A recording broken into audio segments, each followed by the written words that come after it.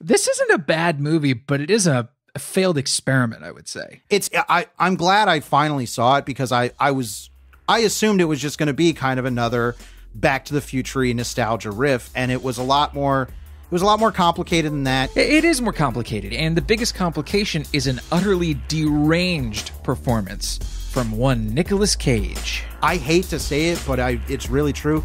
It's the fatal flaw of the movie. Greetings, loyal listeners and new recruits. I'm Drew Dietsch. I'm Travis Newton. And this is GenreVision. Genre Vision is a weekly movie club where we discuss horror films, action movies, fantasy flicks, sci fi cinema, and more.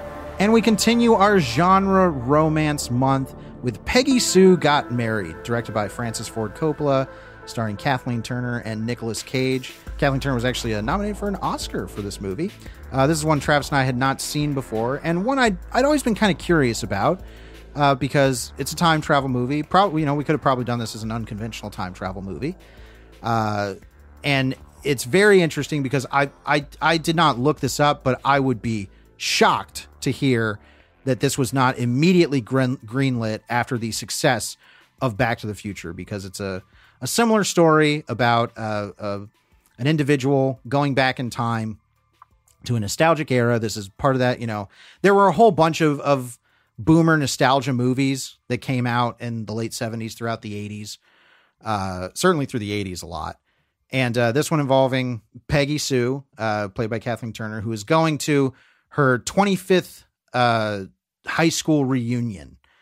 And this whole opening sequence where we start with her getting ready for for the for the reunion, getting in this big big silvery dress that's period appropriate for 1960. And uh I like I really liked this entire stretch of the movie where we were learning about the character and the characters, I should say, that will uh, make up our ensemble and their relationships and how it had kind of how how everything had kind of turned out immediately. Like there isn't. I like that the movie didn't start with, well, here's a day in the life of Peggy Sue, and yeah, she, because that's that's very Back to the Future.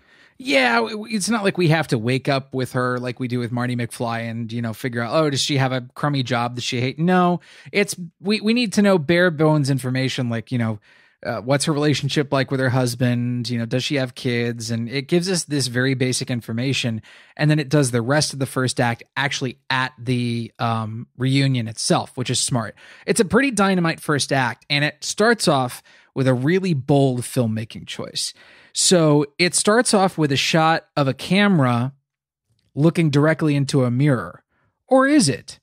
As a matter of fact it's a false mirror shot where they actually had uh, the camera pointed at Kathleen Turner and Helen Hunt, who is helping her get ready.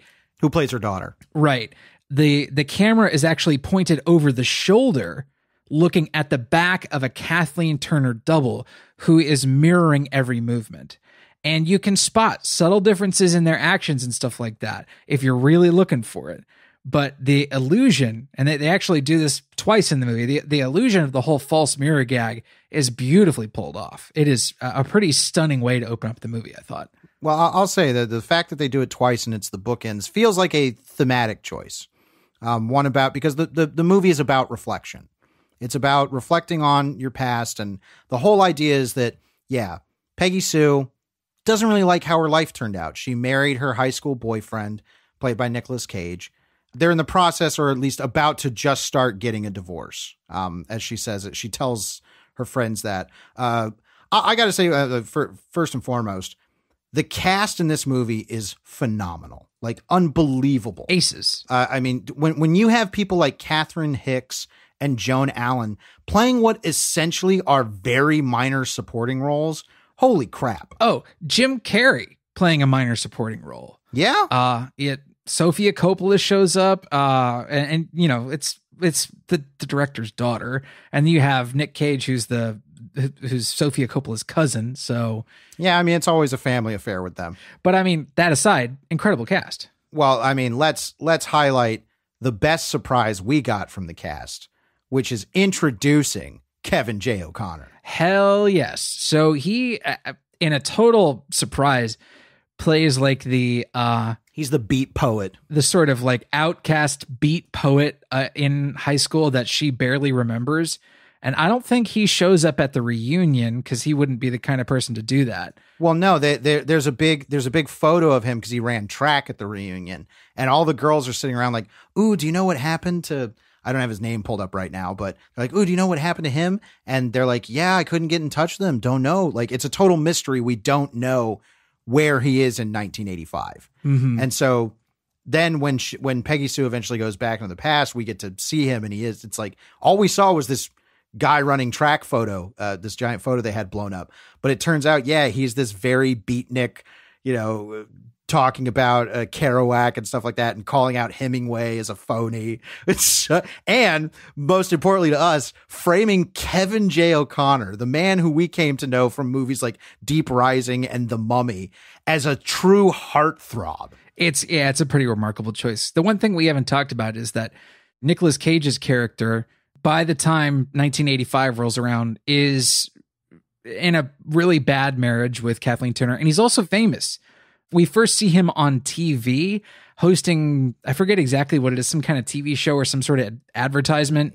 he took over his dad's appliance business and he's like crazy charlie's discount prices and so what we find out is that yes when he was when he was in high school he was trying to he was part of this basically doo-wop group um and he wanted to be a singer uh but clearly when we when we're introduced to him as his character's name's charlie charlie bodell um when we're introduced to him he is just some kind of wacko appliance. I don't even know if it's necessarily appliances. It's just like electronics or something. I, I, it's deceptive because it seems like he has some degree of kind of like fame to him. It's local fame. Yeah, I, I suppose, but like the, there, it seems to be that there's some sort of money there.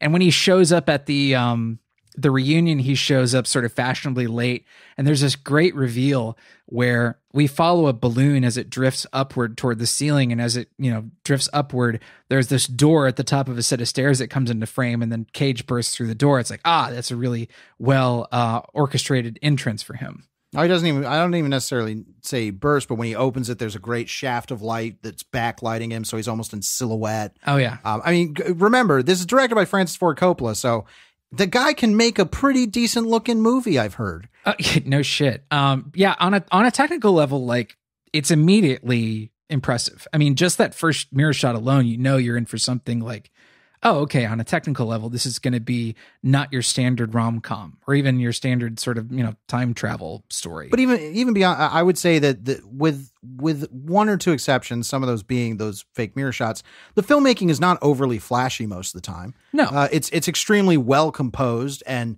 and cognizant of the kind of emotions and perspectives that it's trying to put you into. But it's it's rarely being as flashy as those one or two moments that we mentioned. Right. It's not an Um, effects film, I would say.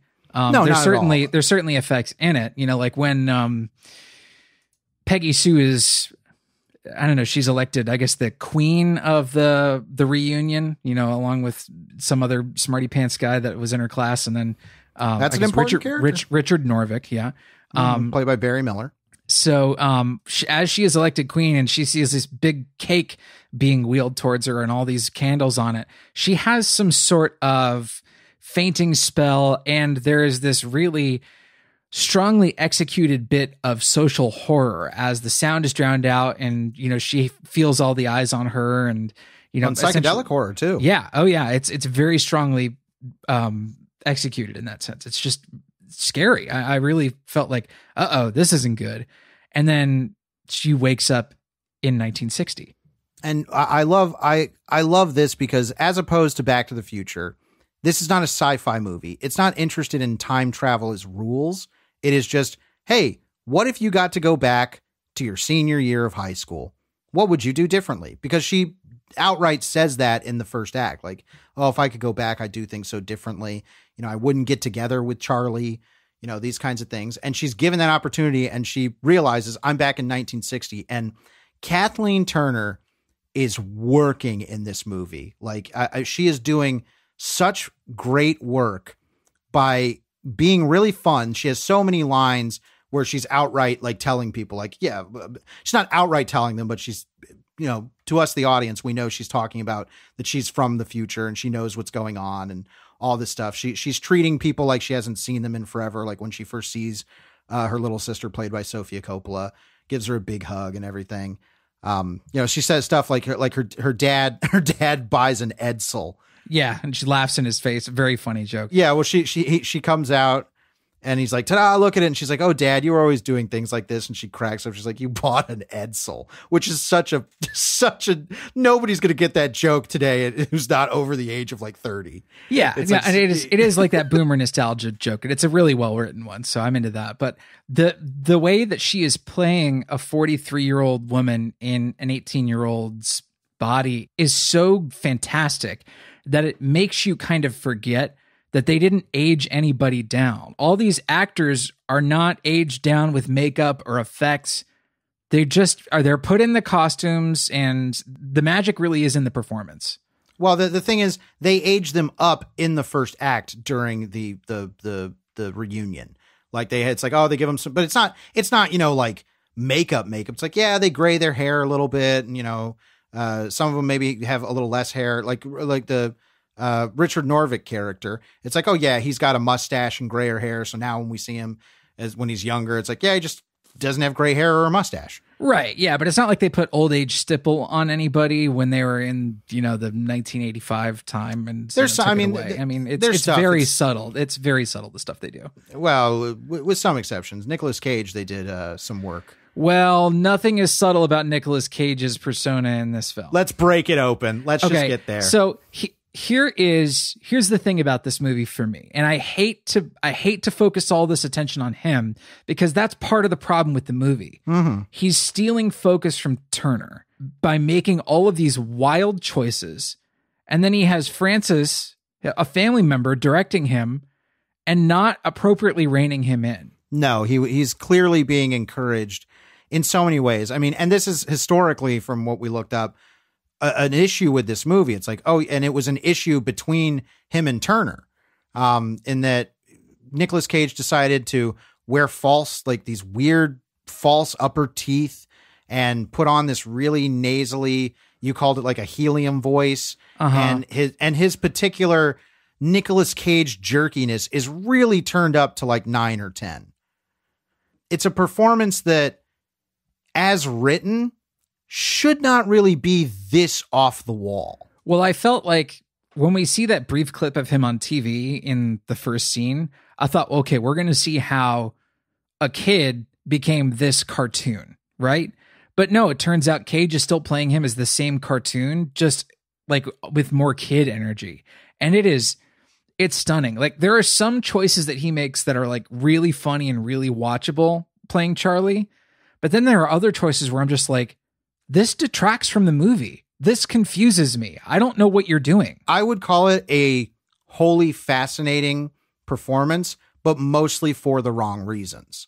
It's something where it's like, yeah, this these are these are things that I think nowadays people would just kind of expect. It's like, yeah, Nicolas Cage being wacky, and it's like, yeah, but in in those instances when it works, like like in something like Mandy, it's suited to the material and the tone. Like, Well, it- and and I- there's it's, it's to be said that Nick Cage as a performer has aged beautifully. oh, he's yeah, he's only gotten better. Here, evidently, you know what from what Kathleen Turner has said in her 2008 memoir, I think it was, he had a lot of issues in terms of production, and and there's some of that that is disputable because Nick Cage actually sued her for defamation on several claims in that, and he won.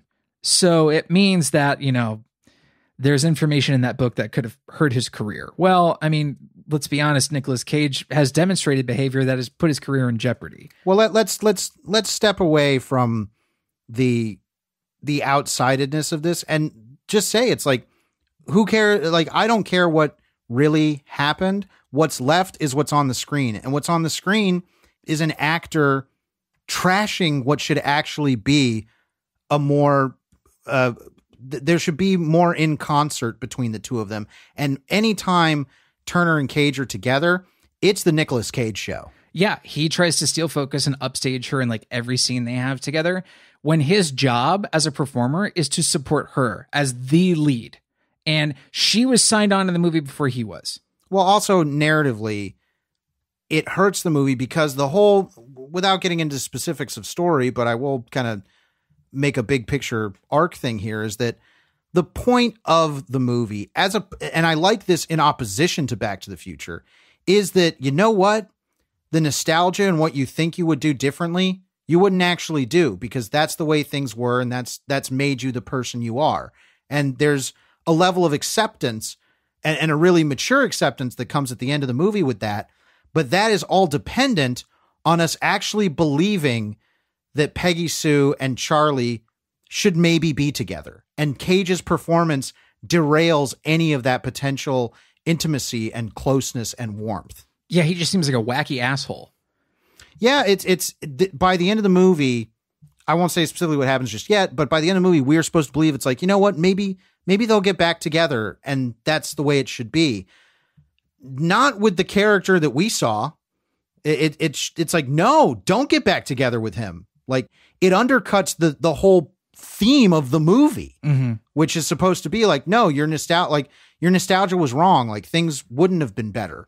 Right. Like, be you, your own person. You know, don't let this path that's been laid out for you, you know, hold you back. I mean, really, Charlie is such a terrible thing in the movie that I, I just wish that the movie would take sort of an alternate pathway, but then it means losing the Helen Hunt character as her daughter that she had with Charlie. And I'm like, well, I know one thing about this movie, and is that she's eventually going to have to find her way back to 1980, and Helen Hunt's going to be there. That's the only thing I feel like that's going to happen for sure in this movie. Because otherwise, like the plot is structured in this very zigzag fashion where I was like, I don't, I don't exactly know what's happening here. Well, here, here's the as a time travel movie, there are ramifications to the time travel, but it's not really about that. Like, and that's that's one of the things I liked. It was like I don't want to, you know, I don't want to see anybody disappearing from photographs and stuff like that. That's not what I'm here for. That Back to the Future did that wonderfully, and it's that's its take. This one, while we do find out that some very small things changed uh, by her going back in time, it wasn't anything that truly changed her life. Because what happens is you think the movie is going to be, hey, I've got a second chance. I'm going to do things differently. You know what? That hunky beatnik kid, I'm going to go off with him and I'm going to go ride his bicycle and listen to him recite bad poetry and make out with Kevin J. O'Connor. And that happens. And you're like, oh, well, like maybe that's what, you know, maybe this is the Back to the Future thing where she's going to go back and all of a sudden she has a big Ford truck and everything. Like, you know, it's, but it's not. She, she goes off uh, with Kevin J. O'Connor. They have a night at the lake and they talk about, you know, the future and things like that. And they sleep together. And then Peggy Sue has this really mature realization of like, yeah, we're not going to be together. Like we had a really fun time and we had one night. And her and her seed is that she says, "Yo, we had a really fun time, and maybe you'll write about it one day because he wants to be this writer." But that that's all it was, and that's okay, and it's beautiful. And they both come to this really mature understanding of like, yeah, that was nice. Like it was a good thing for both of us. This is a premise, this whole premise of like if you could go back to high school, like would you do it all over again? It's it's ripe for narrative potential.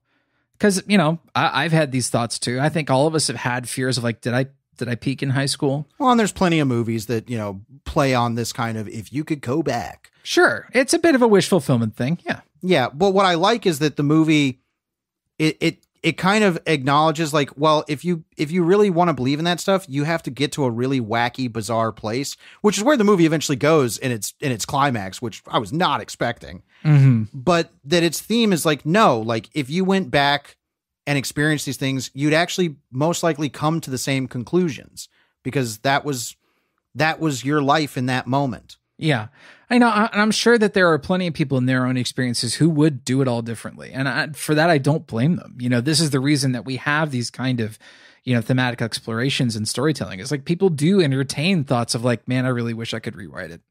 But I think the the story that it tries to write for Peggy Sue is one that really attempts a natural conclusion, but there are some things standing in the way of that with, with the way this movie is constructed and we we've talked about Nicolas Cage being the big one. Like a, the whole character just stands in the way of us actually believing that Peggy Sue should wind up with him.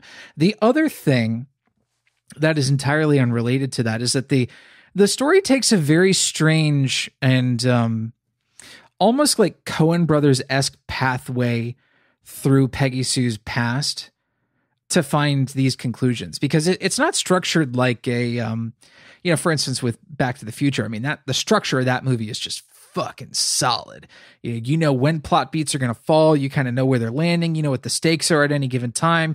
You feel a great sense of urgency. This has to happen by this point, and the lightning's going to strike the tower. And Oh, yeah, I mean, you're- you're- as- you know, you got to prevent your family from disappearing from the photograph, or you know, whatever it is. as a piece of me- and I don't say this dismissively as a piece of mechanical writing Back to the Future is a is a perfect pocket watch. It's one of the things that makes it one of the best blockbusters of the 80s. But this, it's more about an emotional journey. Yeah, it's less about mechanics. It's more about like what brings Peggy Sue to the point where she's ready to let go of 1960.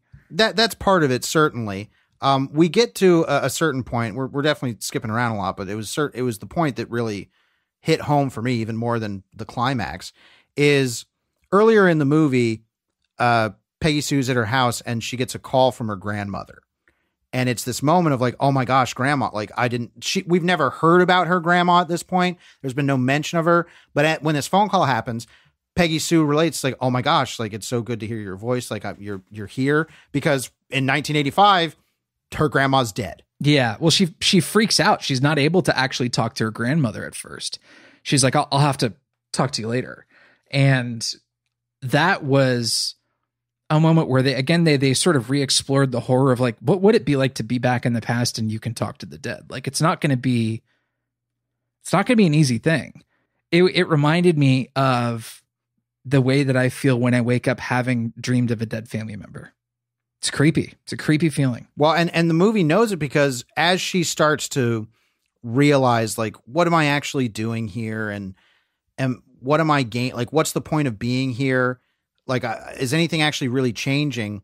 She goes to visit her grandparents. Mm-hmm. And and this has the spookiest and the most uh powerful moment in the movie for me in which she's only told uh uh what's his nuts? Uh Richard uh that she's a time tra- or yeah, Richard Norvik Yeah. because she when when they meet each other in the uh in the reunion richard says like you were always nice to me. Like everybody else treated me like a jerk and now i'm super rich because i'm an inventor and things like this. And then when she goes back in time she singles him out because it's like oh you're really smart. I'm going to tell you i'm from the future and here's how i know it. And so she's always like very comically feeding him inventions that he can create to be super famous. Um but ev- eventually she gets to this this place where she decides to go visit her grandparents and then she tells them and uh they immediately believe her like it, the, the grand, grandmother says like if you believe it honey i believe it and then and so then there's this wonderful moody exploration of well what does it actually mean and her grandmother says you're browsing through time It gave me chills. yeah, well, it's it it hits the nail on the head. We all have the ability to time travel. It's memory. Mhm. Memory is time travel. And that's the thing. What she's remembering in this time travel, it's not what really happened, but it also is because that's what memory is Mm-hmm. memory is a story we tell ourselves based on facts we we hold to be true but our memory is imperfect our memory is not what probably what, what actually really happened because there's way too many factors that we can't think about but we remember how something felt. And this moment when she says you're browsing through time it hits on the head like yeah i'm just remembering how i would like to remember things and that's not good. It's Mhm. not good for me and then it's revealed that her grandfather is part of a secret society that's been waiting for a time traveler Uh, so- fucking so out of left field. Like this left turn again. It felt it felt like a it felt like a plot beat from a Coen Brothers movie. We're like, what? Um. So Peggy Sue drives with her granddad out to this like lodge, um, where where her, her grandfather's father's in some like fraternal order of like weirdos who dress up in robes and have rituals and shit. there's, there's the, I love it because uh, Peggy Sue's like, what What do you tell Grandma that you do here? Like, what does she think you do here? And he's like, watch stag films and play poker. it's just so funny. and the, the costumes of the guys when they're standing there is very very funny um and then is it David Carradine shows up? Who's the which John Carradine, is it? yeah. John Carradine. Sorry, yeah, John Carradine shows up for very old and shows up for a cameo. He's the Um, Grand High Poobah. Yeah. And so they they do this ritual to I don't know send her back to where she came from. And there's a big lightning strike, and you might think, "Ooh, spooky!" And she disappears, and you're like, "Really? Was that it?" No, turns out fucking Charlie, this crazy asshole, has abducted her again and takes her into some nearby greenhouse during this storm. And here they have this big sort of you know knockdown drag out argument, but he finally manages to win her over with this locket, which is used as this you know device throughout the movie to to signify like what she loves the most, really. Yeah, it's not even really throughout. It's it's set up in the first act during the reunion, and she shows the lock, and they're like, "Oh, I, you know, all their friends like, I remember when you were so excited to get that locket from Charlie," and she opens it up, and you would think, "Oh, well, it's going to be a picture of her and Charlie," and it's like, no, it's our kids. Like these are the things I love the most because er, when she starts to really crumble down about the time travel, she says, "Like I miss my kids. Like I don't want to be here anymore." Yeah. Um, and so when Charlie gives her the locket, she opens it up. She's is like, "Oh, it's it's our you know it's our kids' names or whatever they are. I can't remember." And then Charlie's like, "Who who are Dana and John? That's us as kids." Mhm. Yep. And and it should be this moment of ah, this they are supposed to be together. Like they their love has transcended what their belief in time is to the point where it it's it's beautifully cyclical. That does not work because Charlie sucks in every way. such a dick such a dick there, there there's one scene that really turns the tide on him like there is like throughout the first half of the movie you think like oh this guy could maybe be like a lovable weirdo dweeb but then he sneaks into peggy sue's bedroom one night and is sitting on her bed while she's asleep and he raises a pillow to her face as if to smother her Yeah, I, I, I, my read on that is that I believe it's supposed to be darkly comic because the whole reason he's upset is that he hears that she's going with Kevin J. O'Connor and is, and maybe at that point has even slept with him. Um, and that's, they're trying to make it, you know, bizarrely a sympathetic, dark comedic moment, but it does not play like that, especially coming from the performance that Cage has been giving throughout the movie. It, it reads as like, holy shit, he, he was about to kill her. Like that, screw this guy. Yeah. And then he and then he dra- basically like drags her down into the basement where it is clearly freezing cold because you can see both of the actors' breath.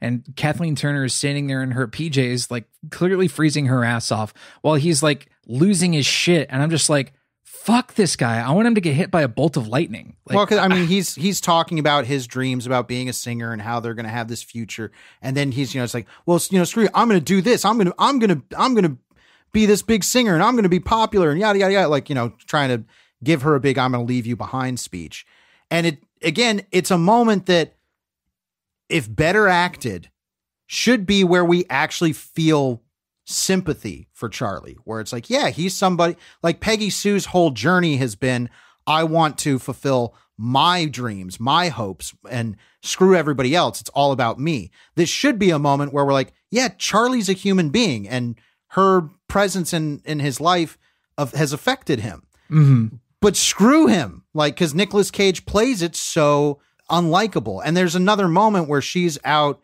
in a diner with Kevin J. O'Connor, and it turns out that uh, Charlie is moonlighting there as a singer, and and she sees him and she's like, "Wow, he's he's really good. Like he's great. I forgot, like, you know, I forgot how good he was." And she's like, "I never saw this side of you, where you know you were because the song he's singing is you know, so it's like he'll he'll never love you like I love you." Yes.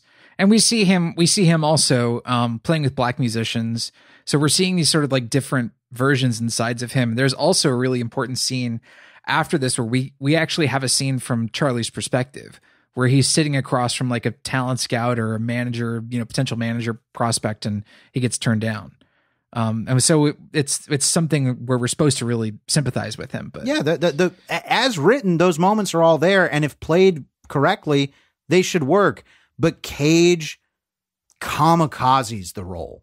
I hesitate to use like really hyper like hyperbolic language to describe stuff like this, but it's I think a disastrously bad choice for this movie because pretty much everything else that's going on is pretty damn good. Mm-hmm. You know, even I could forgive the sort of structural weirdness or some of the structural amorphousness of the movie if Charlie was better rendered as a character and it would take a different performance. Well, if the central romance worked, because Yeah. the central romance should be about them and should be about, you know what? Peggy Sue got to have her her fling down memory lane and do things a little differently, but she came around to realizing like, no, the decisions I made were right, and maybe Charlie and I can work things out because i i in the end, uh, after being abducted by Charlie.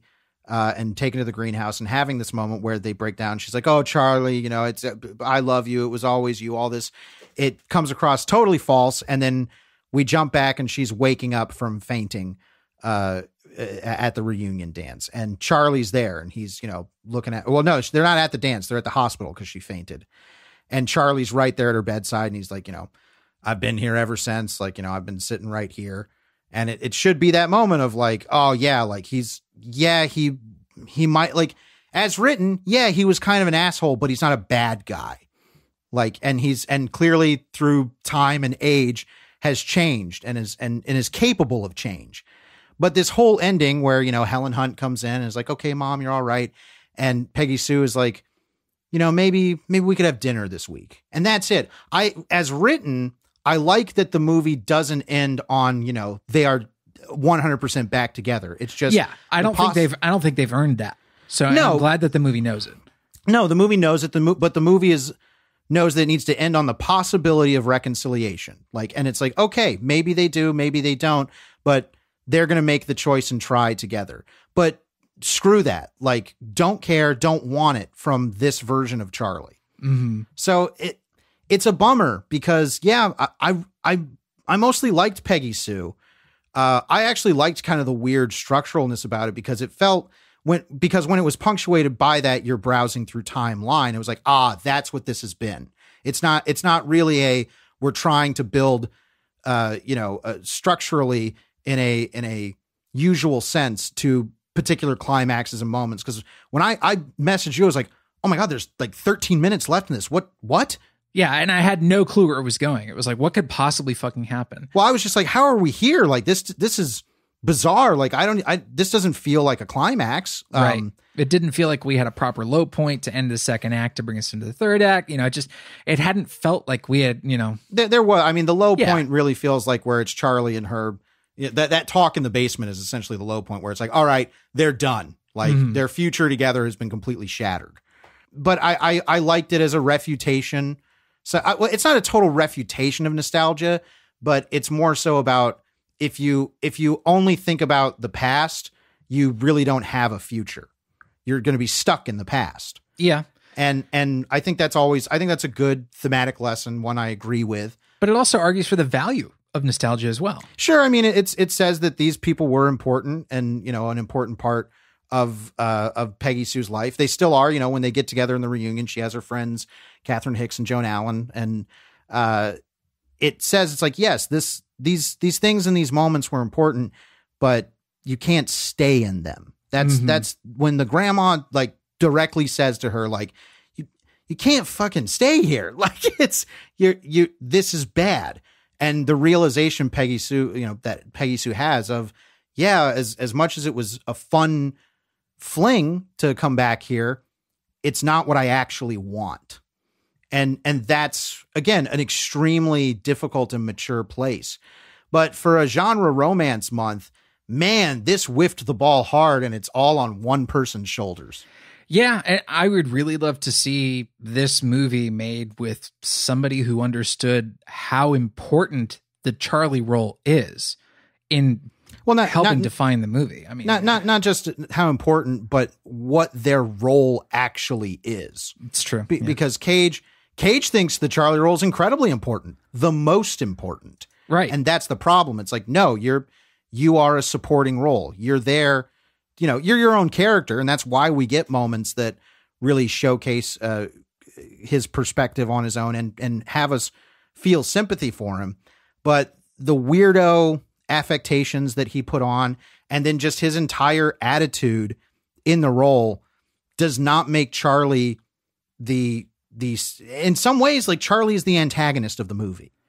Yeah, I mean, I, I really felt that way through quite a lot of the running time. Well, he's supposed to be because the, the the start of the movie is her saying like we're getting a divorce, and so when she goes back in time, her immediate thing is like I don't want to be with Charlie. Yeah, Like screw like this guy screwed up my life.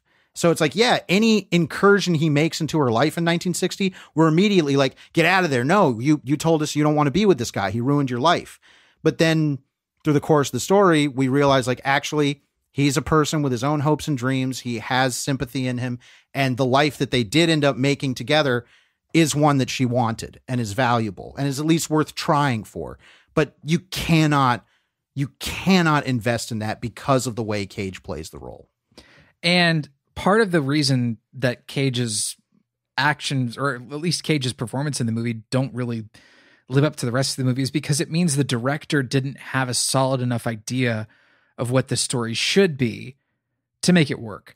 And it should be noted that this is not one of Francis Ford Coppola's babies. He was kind of a hired gun on this. He was he was not the first director signed on to this project. No, they they weren't the first actors. This was a a, a working job, um, Yeah. as far as a film goes. So I think it was an opportunity to give Cage some serious profile, uh, and I think that backfired horrifically.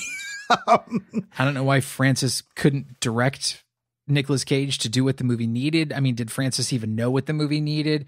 Did he care? or did he Um, enable? I mean, I mean, it Yeah, seems like did he, he, enabled enable. Cage? Yeah. I mean that from from the finished product we have, that is my my gut feeling is like he let him do this. I mean, He compare that compare that to Back to the Future, where Bob Zemeckis was like, "Look, Eric Stoltz, you're not working out. Yeah, I'll cut an actor because you're not doing. I'll cut the lead, the Yeah. lead, Eric Stoltz, who's a good actor. Yeah, just watch Anaconda. Um, his greatest performance. Fly Two is actually is Yes, actual greatest yes, it is his greatest performance. I was just, you know, he spends most of Anaconda on a bed. because he sw- I swallowed a bug. Yeah. Yeah, I swallowed a bug and I needed Jon Voight to perform a tracheotomy on me. Um, so, but Kathleen Turner uh, totally earned her Oscar nomination. She's great in this. so good. That moment where she decides she's gonna drink Oh my god. and she's she's 18 she's like 43 she's like i need i need a fucking drink she goes right to her dad's liquor cabinet and you know pulls the the stopper out of the decanter or whatever it is and just starts sucking that stuff down Well, because because that's that's pretty early on when she's time travel back and she's like, and she starts pouring the drink. She's like, whatever, I'm probably dead anyways. yeah so yeah funny. kathleen turner's deadpan delivery on that is Oh, she's awesome so she's so funny. She's great. Um, you know who else is really good in the movie is joan allen oh yeah, yeah, beautiful, a, a wonderful background player. I love Catherine Hicks. She's so bubbly and fun. yep Um, love seeing I, I was like where the hell have i seen her i was like oh she's the lead in child's play Duh. Yeah. Um, and then uh, uh, I don't have the actress name, but the actress that plays the one like uh school journalist newspaper person who's like super gossipy and always throwing shade. yeah dolores dodge it's played by lisa jane persky Yeah. Yes, uh, when when when when Peggy Sue empties the the ink pen on her and she's like, "Oh, these pins, you know, they're so uncontrollable." it's it's great. It's like, "Ah, you got to go back and get one on your bully." I love know. in the in the opening where she asks, "How do you feel about missing out on the sexual revolution?" Yeah, thought that was pretty. that was pretty she, she asked that to. Joan Allen and her husband because it's like, oh, they, they were high school sweethearts that married. Yeah, It's like, yeah. They, yeah, how you, you feel about missing out? That's great. No, it's it's got so much good in it. It's just that one thing. It really is that it casts that big of a shadow on the movie. hmm So it's it's a bummer, but I'm still I'm still very glad we watched it and had more you know more of a good time with it than not. Yeah, Um, it's. I mean, it's just especially disappointing now in this era where we're like having this Nick Cage renaissance. Where like he's so good in a bunch of stuff, and we want to appreciate the best of what he does. But then you watch a movie like this, and you're like, he's made some bad choices. Woo. But you know what? That's important. It's important to do that. Like there are other Nicolas Cage movies from the 80s that I've I'm interested in seeing. Maybe we'll do them on the show one day. Sure. Um because it's like Nicolas Cage, he was always wacky, but th- it took time I think for him to re- like kind of fit into the right kind of character roles that that we now know him for. Mhm. We're gonna do con. We're gonna do Con Air later this year, for instance, which I've never seen. You know. Yeah, yeah, I'm I'm I'm stoked to see that. I think that's, you know, I think that's one where the uh the material will probably fit his particular quirks more. Um but you know, go watch Pig. Uh, that's that's if you take anything away from our Peggy Sue Got Married episode, go watch Pig. That would be an excellent shelf pick if we had it as a shelf pick, but I know it's not this week's shelf pick uh, for either of us. So I think this presents a good opportunity to head to the shelf. The shelf is a uh, collaborative zone. Uh, you can use the shelf to pull off a movie and recommend it to us for uh, this episode. Uh, we can pull movies off our shelves to recommend as sort of like pairings or substitutions. Uh, what you can do if you want to be a participant in this whole shelf thing is go to genrevision.com, find the post for this episode on the main page, leave your shelf pick in the comment, and we'll actually read it on next week's episode. Uh, Drew, what are you pulling off the shelf for Peggy Sue Got Married? Well, I would say that a major influence on Peggy Sue Got Married is The Wizard of Oz. Oh yeah, uh, very. I mean, very clearly, it's a there's no place like home ending. You know, with time travel, it's about going to essentially a a fantasy world. There uh, are some literal like yellow brick sidewalks in this. Sure, sure. Yeah. So my shelf pick is going to be another Nicolas Cage movie that directly pulls from The Wizard of Oz. This is Wild at Heart, directed by David Lynch. Uh, this is, I feel, a David Lynch movie that does not get talked about enough. Uh, I think it's at this point kind of a kind of one of the deeper cuts of his filmography, and that's a shame. Now, granted, it's a David Lynch movie, so it's got that kind of you know meditative psychedelic vignettiness to to to it. It's not quite as concise and well structured as something like Blue Velvet. Um, the story being it's Nicolas Cage and Laura Dern and they're two lovers and they're on the run because Laura Dern's mom has hired like weirdos to try and kill Nicolas Cage because she doesn't want her daughter with him. Um, one of the uh, one of the weirdos in the movie ends up being Willem Dafoe in a absolutely grotesque performance. The the, the fake teeth they have on him are terrifying. Um, but there's there's even more terrifying than his real teeth. yeah, no, for it's if you've never seen what he looks like in Wild at Heart, Google that. It's gross. Uh, it's it's icky and uh, disturbing, like most David Lynch stuff. But there are some very direct uh, Wizard of Oz uh, uh, mentions. Uh, you will see Glinda the Good Witch's bubble in this movie. Uh, it's it's as the title states, wild. Uh, it's it's fun. It's I mean it's fun and, in as much as a David Lynch movie can be fun. Uh, but it's it's a role where the the especially for a romance, like the central romance of these two very star-crossed, wild, bizarre people, it works with Nicolas Cage still doing his big Nicolas Cage stuff. Uh, it's I don't know if you have you ever seen Wild at Heart? I haven't. Ooh, okay, I got that on the back burner because good, good. Let's I, do that one. I, have not revisited in a long time, but I remember I remember being pretty hot on it when I saw it. So, well, I mean, Wild at Heart is my shelf pick. Travis, what are you going to pull off the shelf for Peggy Sue Got Married? I didn't actually know you were going to pull a David Lynch movie off the shelf until just now, so I'm a little blindsided because my shelf pick is Mulholland Drive. Yeah, we there's there's more than a little lynchiness in Peggy Sue. No question. So this sort of idyllic suburbia, it reminded me a little bit of um, the ending of Blue Velvet.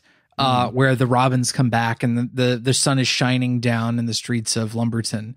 Um, but really, what what struck me about this was, you know, using this sort of like alternate reality this past to explore who you really are, sort of like a different version of the self, and you know th- all this like surrealness of the past. Like I, I really couldn't stop thinking about Mulholland Drive, um, and Naomi Watts's sort of like wide eyed, um, taking it all in. You know this this like experience sponge, like soaking up the weirdness that is L.A.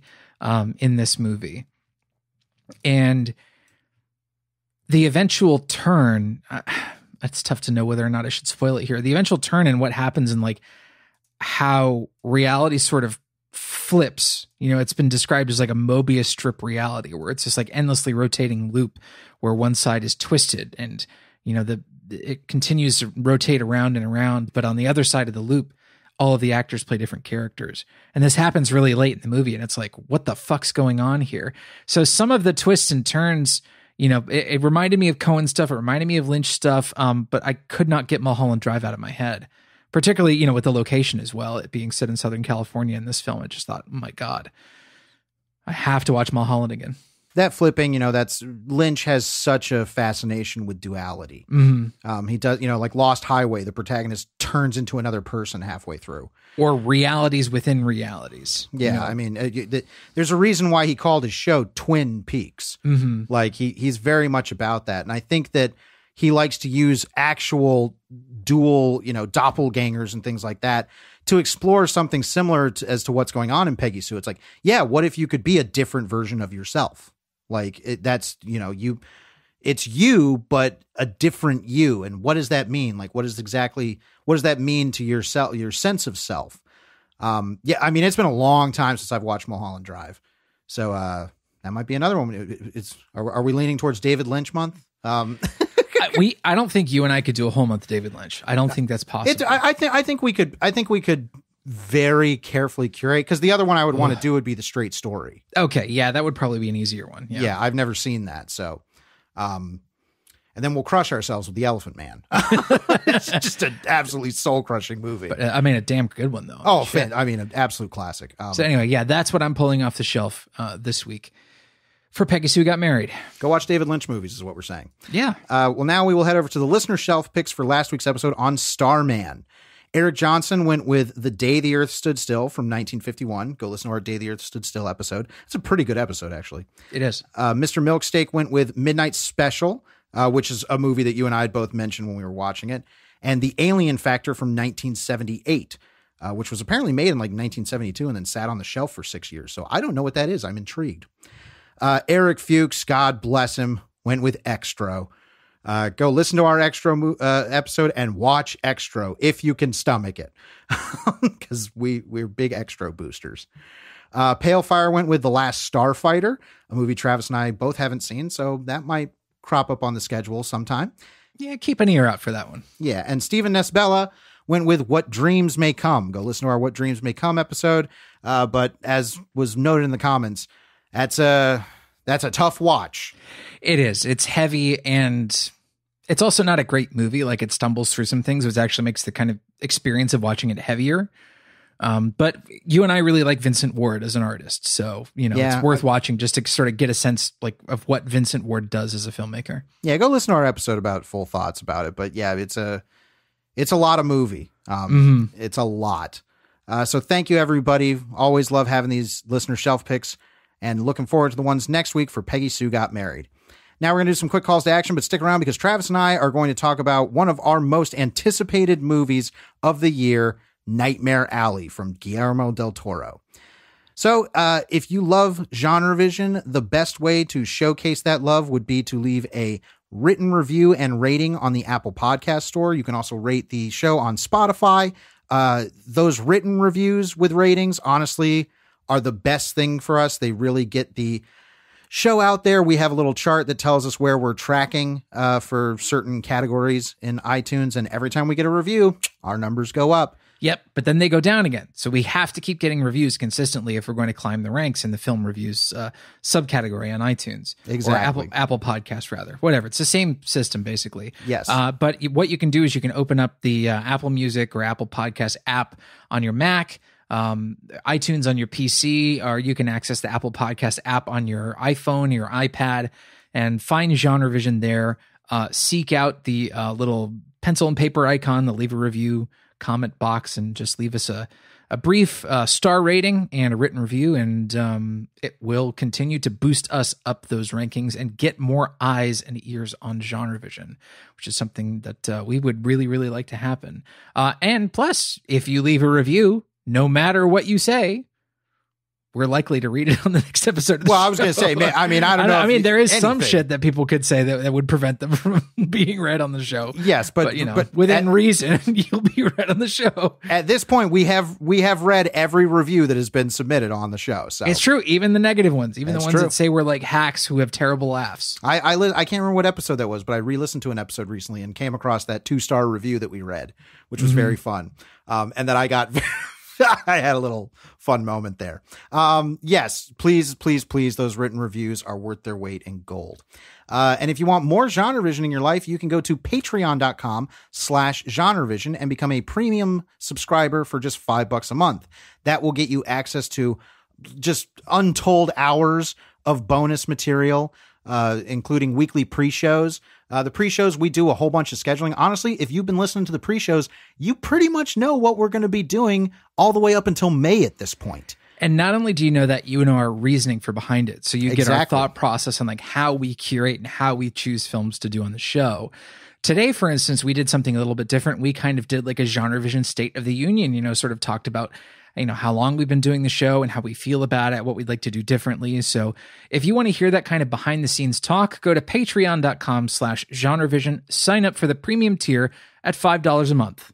All right, let's do some currently consuming. Num num num num num. because holy hell in a handbasket do we have a, I don't know how much time we'll take but nightmare alley happened to us So, Nightmare Alley, which was released in theaters in December of last year, has finally hit Hulu and HBO Max in the US.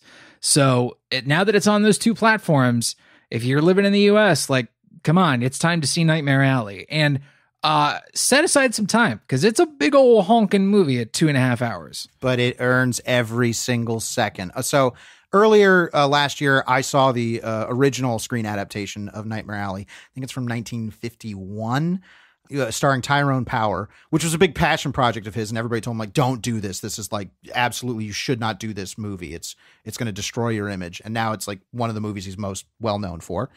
Uh, and I I thoroughly enjoyed the 1951 version. I thought it was great. Guillermo del Toro has not only once again proved that he's never made a bad movie. I stick by that.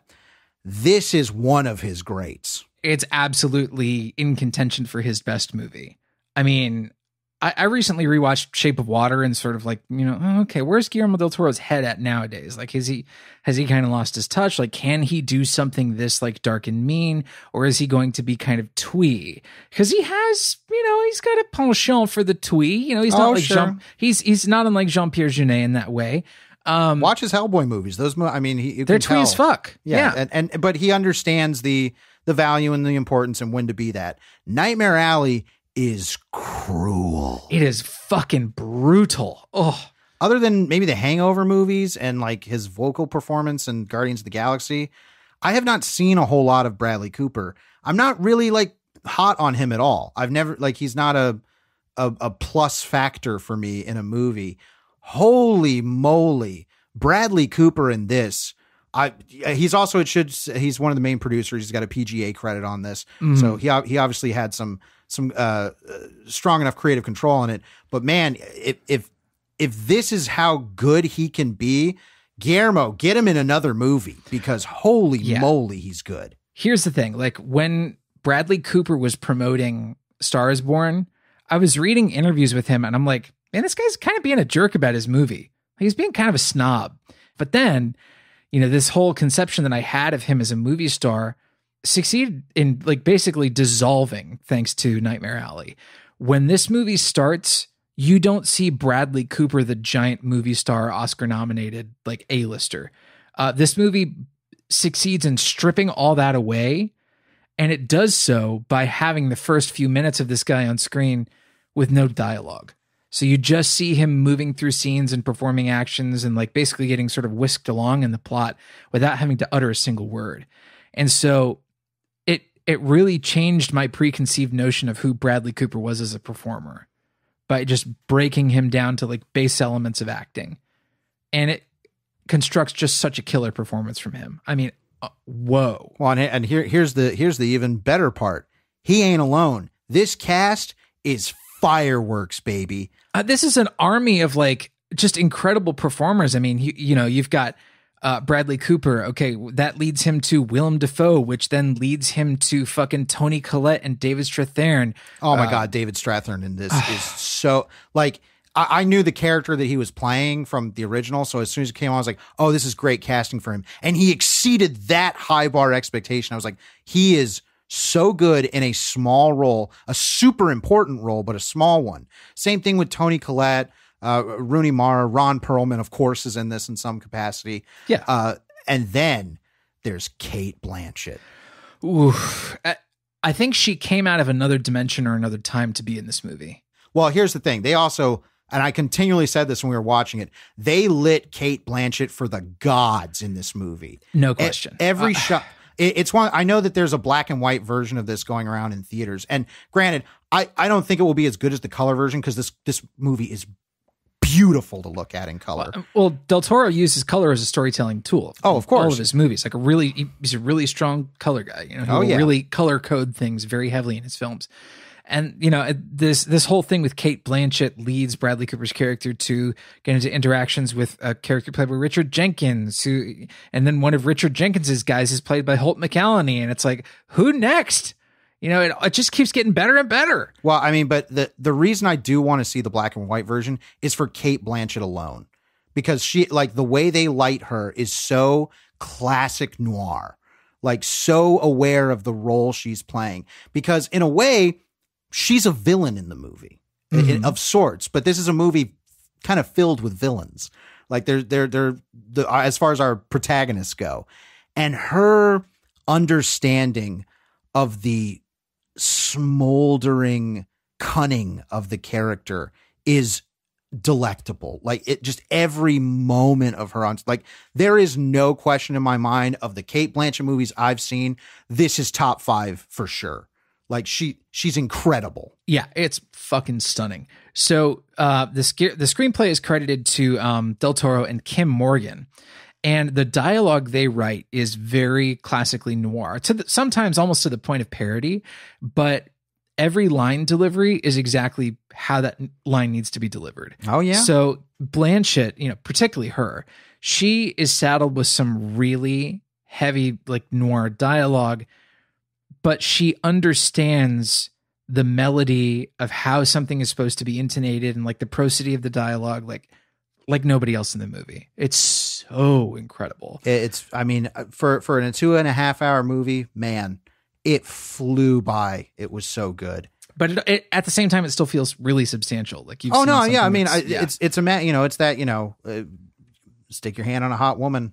You know, Yeah. Relativity, like yeah. se- yeah. So, um, our deep blue sea references that you know the language Travis and I can speak. Um, but uh, no, I mean, I mean, as a production, my God, the the the the big chunk, uh, pretty much like the first hour of the movie, takes place with this carnival and the production they did, like that spook house that they run through when they're chasing the geek.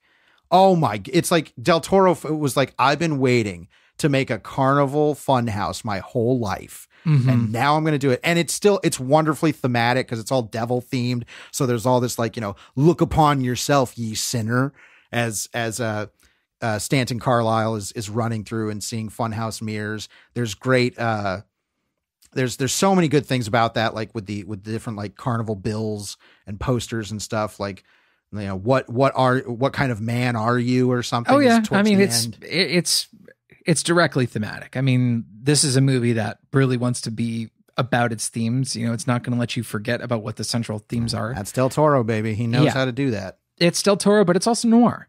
You know, it's also Oh, yeah. sort of um Well, I, part I and mean, parcel with the whole subgenre. Well, because Del Toro spoke about uh, when you know doing the the press tours for this movie, he spoke about noir. He's like, people think noir is just you know Bogart and private detectives and Yeah. and, you know that kind of stuff. And he's like, no, what noir is is the dark side of the American experience through Right. you know f- through using certain filmmaking techniques and and storytelling structures, but that it should be about what is dark about America. I mean, there there's definitely. I hate to say this. I don't like saying it, but I think it's true. Nightmare Alley, in some regard, does feel like Del Toro thinking about not directly Trump, but how can a con man really take us over? No, I mean it was like facing the crowd in that way. Oh, absolutely. Yeah. I mean, Yeah. it's and It's and it's also related to um the Lorraine Scafaria movie or Lorraine Scafaria movie Hustlers, sure. where it's like we're all doing the dance. right. I mean, it's it's really about what's the con, and there's so many great things about. Okay, you you know everybody's running a con on everybody, but the thing is, you can't start believing in your own con. Mm-hmm. that as soon as you start believing what you're doing is real, and this is all through the thematics of a a cold reading parlor trick type uh, uh, mentalism act, is as soon as you start believing your own bullshit, you're done. Well, I love the contrast of the mentalism and the cold reading versus the psychology, Sure. which yeah. is, you know, in some ways, especially in this era, you know, it's it was often akin to cold reading, you know, where that's I like, mean, yeah. oh, the cold reading could immediately say like, oh, well, you had issues with your father. Yeah, well, psychol- the psychologist is going to feel the same exact way. Like, you know, Oh, yeah, very I'll- shortly after upon meeting, you know, especially like Bradley Cooper's character, like the psychologist is going to know. And it's a very like old style of analysis where it's almost like hypnotherapy, where Bradley Cooper is on the sofa laying down and closing his eyes and oh man. It's it's a rapturous experience. This movie rules. We could just sit here and just talk because I, I, when you're talking about it, it's like, oh yeah, when David Strathairn first does the the act on him, and Mm-hmm. and he's doing this stuff, and you even said when we were watching, it's like, oh, Cooper's seeing him do real magic, and I said, is it? What is magic? Yeah. yeah. it's like, what is magic? Is it you know? And and you said it's an act, it's a con, like, and and that afterwards, like. Because David Strathairn says all that, it's like, oh, you have a problem with your father. You know, I see, I see your father, and and you're angry at him or something like that. And Bradley Cooper is amazing. He's like, how'd you know all that about my father? And David Strathairn's like, yeah, it's pretty easy. Like everybody has a father, you know, like boy, your age, you're going to have issues with your father. Like I, you know, you can, it's about knowing how to read people Mm-hmm. and this evolution of like how he gets the act and then does it on his own and then comes into contact with Cate Blanchett to increase how they can con people out of the act. It's so fucking oh my god, I want to watch it now. Like it's so good. It's I know it technically came out last year, but I didn't see it then. So like that's not how I'm counting it. Right now Nightmare Alley is my favorite movie of the year. Stunning. Uh, this is certainly one of the best movies I've seen of the last couple of years. Um, Yes. I recommend that everybody watch it. Um, I'm flabbergasted. I, I want to see the uh, previous adaptation like immediately. Oh yes, but like I've, I've also again. I've also already like contrasted like h- how the two films differ in adaptation, and the Del Toro one's meaner and truer to the novel. Watch Nightmare Alley. Do it. If you have HBO Max or Hulu, stop listening to this and go watch Nightmare Alley. It's an absolute treasure of a film. Uh, well, we will continue our genre romance theme month next week with the Wachowskis Bound, which Travis and I have both never seen. I'm really excited to watch this. I Oh, hear I'm- great I'm things about it. I'm stoked. It's it, I'm super stoked. Like I've heard nothing but good things about it. Honestly, uh, anything with G- Gina Gershon in it after um, after Showgirls, Anything with Jennifer Tilly in it, anything. I'll any watch. ever, yeah. so uh, you don't you don't have to convince me on that. so you uh, we'll see we'll see how lascivious I am next week about Jennifer Tilly uh, when we do Bound. We hope you'll be back with us. As always, want to thank you so much for listening. I'm Drew Dietsch, I'm Travis Newton, and we'll see you next week. right here on GenreVision.